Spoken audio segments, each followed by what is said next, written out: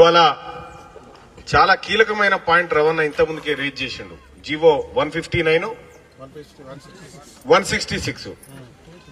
Fifty eight fifty nine ప్రకారము same ఇదే issue మీద నేను కొట్లాడినా. పల్లా రాజేశ్వర్ రెడ్డి అనే ఒక దొంగ ఉంటాడు. ఎక్కడ?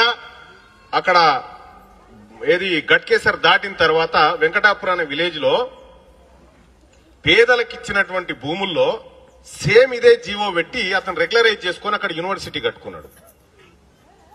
సేమ్ ఇదే జీవో పెట్టి. అంటే వాళ్ళకు మాత్రం ఆ జీవో పనికొచ్చి భూములు రెగ్యులరైజ్ అవుతాయి అదే జీవో పేదోడికి పనికి రాకుండా పోయింది తెలంగాణ రాష్ట్రంలో. ఇవాళ పోలీసులు వస్తారు ఇంకొకరు వస్తారు ఇంకొకరు వస్తారు. ఇవాళతో అయిపోలే ఈ పంచాయతీ. రేపు ఇంకోటి వస్తాడు ఏడు కాకపోతే. దీనికి కారణం ఎవరు? ఏడున్నాయి వీళ్ళ ప్రాణాలు. మైహోం రామేశ్వరరావు అనేటువంటి ఇంకో దొంగ.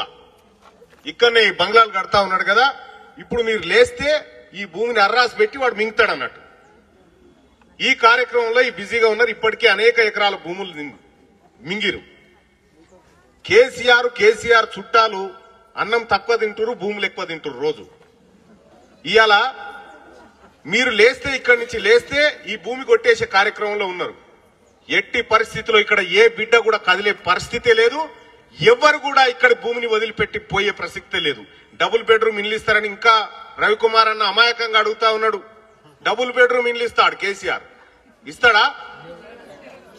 ఏం చెప్పిండు మనకు? అల్లుడు వస్తే ఏడమంటాడు కొడుకు వస్తే ఉంటాడు నూట ఇరవై ఐదు గజాలల్లా పిల్లర్లు పోసి కడతా కోడి పిల్లని ముంగడ కమ్ముకోరి గొర్రెను లోపల కట్టేసుకోరని చెప్పిండు. చేసిండా ఏమన్నా? ఏమీ చేయలే. ఇక తెలంగాణ రాష్ట్రంలో ఏం చేసినాడు? బొచ్చ చేతికి పెట్టిండు మన చేతికి.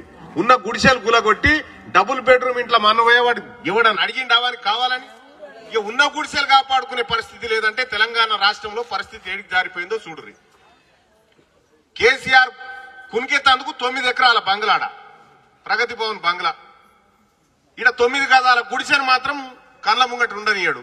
దీనికి పోలీసు వాళ్ళని అడ్డం పెట్టి పోలీసు పోలీసు వాళ్ళ మీద హత్యా నేరం కేసులు పెట్టాలి. ఎప్పుడైతే బిడ్డలు చిన్న చిన్న పిల్లలు లోపట్టున్న తర్వాత కూల్చడం అనేది ఇది దుర్మార్గం ఇది.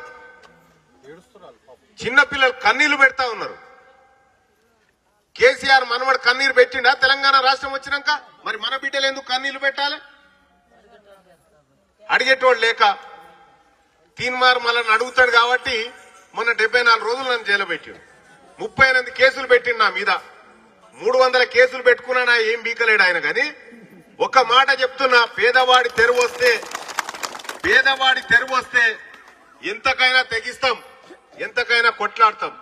ఈ బసవ తారక్ నగర్ ఏదైతే ఉందో ఈ బసవ తారక్ నగర్లో కూడా ఏ ఒక్క పేద బిడ్డ కూడా ఇల్లు ఖాళీ చేయడానికి వీల్లేదు. ఇక్కడ నుంచి కదిలే ప్రసక్తే లేదు ఎట్టి పరిస్థితిలో.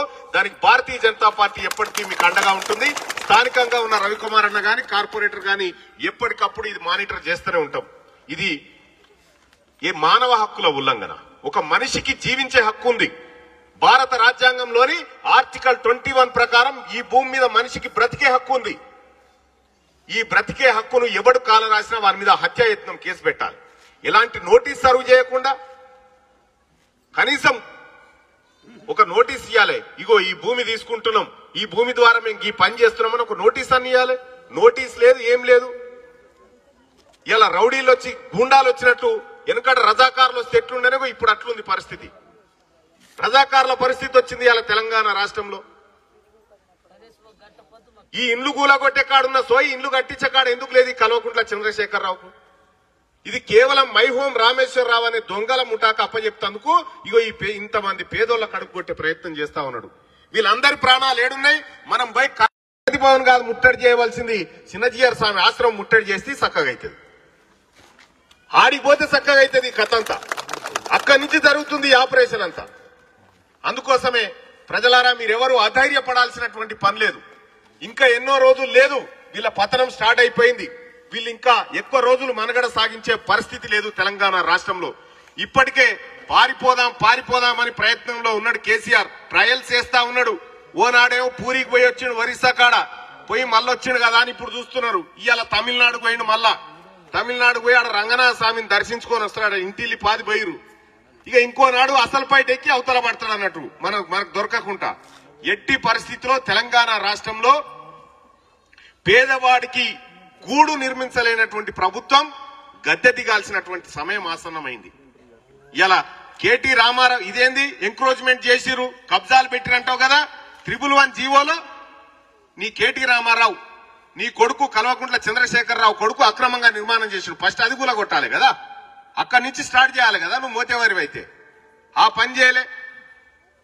ఏ ఆడబిడ్డనన్నా రోడ్డు మీదకి ఎక్కితే అధికారులను సస్పెండ్ చేస్తాను పలికిండి. ఇప్పుడు ఎక్కిన వాళ్ళంతా రోడ్డు మీదకి ఎక్కిన వాళ్ళు ఆడబిడ్డలు కాదా? కేసీఆర్ నీకు కూడా తొమ్మిది మంది అక్క ఉన్నారు కదా వాళ్ళు ఈ పరిస్థితుల్లో కూర్చున్నారు అయ్యాలా లేరు కదా? ఇలా తెలంగాణ రాష్ట్రంలో నువ్వు ఏడేళ్ళు పరిపాలన చేసి ఇంకిరవై ఇరవై ఏళ్ళకు పట్టేదారుని నేనే అంటున్నావు. ఇరవై ఏళ్ళ నుంచి ఇక్కడ చెట్ల కింద గుడిసెలేసుకొని బతికినటువంటి ఈ బిడ్డలకు ఇది సొంత భూమి కాకుండా ఎట్లా పోతుంది ఇది? కాబట్టి బరాబర్ ఇది మీ భూమే. ఇది ప్రజలదే. ప్రభుత్వ భూమి అని చెప్తారు. ప్రభుత్వం అంటే ఏంది? భారత రాజ్యాంగం ప్రకారం ప్రభుత్వం అంటే ప్రజలే. ప్రభుత్వం అంటే ప్రజలే. కాబట్టి ఈ ప్రజలదే భూమి ఇక్కడ మైహోం రామేశ్వరరావులు వచ్చినా ఇంకెవరు వచ్చినా ఖచ్చితంగా దీన్ని ఎదుర్కొని తీర్థం భారతీయ జనతా పార్టీ తరఫున. మీకు ఖచ్చితంగా అండగా ఉంటాం. ఈ హైదరాబాద్లో అమీర్ ఎవరైతే దొంగల ముఠా ఎట్లా బతుకుతుందో ఆ దొంగల ముఠా సంగతి కూడా చెప్పాల్సిన అవసరం ఉంది. ఎంతో మంది మీ జీవితాలను మీ పిల్లల జీవితాలను అందరిని నాశనం చేసి మీ సమాధుల మీద కడతాడా ఇప్పుడు ఆయన ఇక్కడ? ఇలా చిన్న పిల్లలు చదువుకు చదువుకునే పుస్తకాలను కూడా శిథిలాలను లేచి తొక్కిర్రంటే వీళ్ళకు చిన్నపిల్లల పట్ల ఉన్నటువంటి ప్రేమ చూడండి. బాలల హక్కుల సంఘాలు కూడా జోక్యం చేసుకోవాలి ఇందులో. మానవ హక్కుల సంఘాలు కూడా జోక్యం చేసుకోవాల్సినటువంటి అవసరం ఉంది. తెలంగాణ రాష్ట్రం వచ్చిన తర్వాత మన తలరాతలు మారతాయి అనుకున్నాం. కానీ మారినా మారలే. కేసీఆర్ కో ఫామ్ హౌస్ కేటీఆర్ కో ఫామ్ హౌస్ కందికాడ కవితకు ఫామ్ హౌస్ అజీజ్ నగర్ కాడ హరీష్ రావుకు ఫామ్ హౌస్ ఒకనోనికి ఇరవై ఇరవై ఎకరాల ఫామ్ హౌస్లు ఉంటాయి ఇరవై గుంటల భూమిలో ఇంతమంది పేదోళ్ళు బతికితే అలా కళ్ళు మండినాయి. ఏమన్నా నువ్వు పేదోళ్ళకు మూడు మూడు ఎకరాల భూములు ఇస్తా అని చెప్పలే?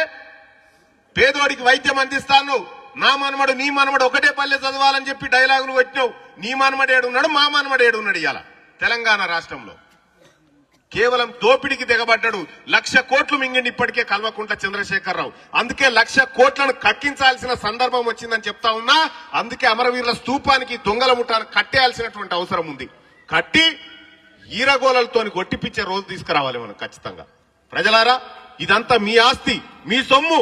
గతంలో ఉన్నటువంటి భిక్షపతి యాదవ్ గారు అంతో ఇంతో ఇక మీకు కావలసిన ఏర్పాట్లు చేసుకోండి అని చెప్పి ఎన్నడు కూడా మీ తెరువు రాలే. ఎన్నడు కూడా మీ తొంగి చూడలే. అంతో చేతనైన సాయం చేసిరు. కానీ ఇప్పుడు వచ్చినటువంటి ఈ శేర్లింగంపల్లిలో ఉన్నటువంటి వ్యక్తి అరికపుడి గాడ్సే.